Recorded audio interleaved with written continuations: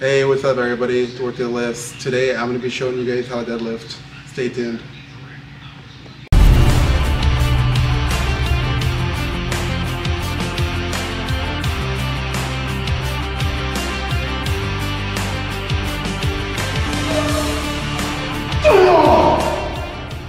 Alright everybody, welcome back.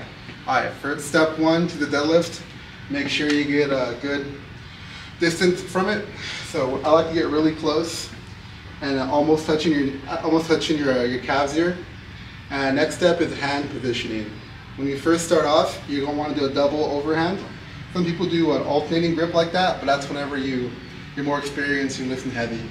So the first step is to get right outside the knees. You could use these little marks right here. All right, now that we got the position, leg positioning right, this to the knees, next thing, I'm gonna bring your butt down below your shoulders like this, head up, chest up, and you wanna remove the slack. See this slack? So pull up like this. Pull up, chest up, and what I wanna, wanna do is breathe in and breathe out as I'm going up, like so.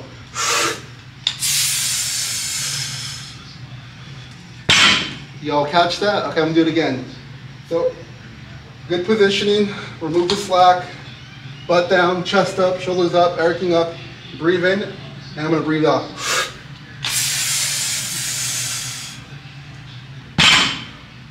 And that is how you do the deadlifts. If you have any questions, leave it in the comments below. Everybody have a great day.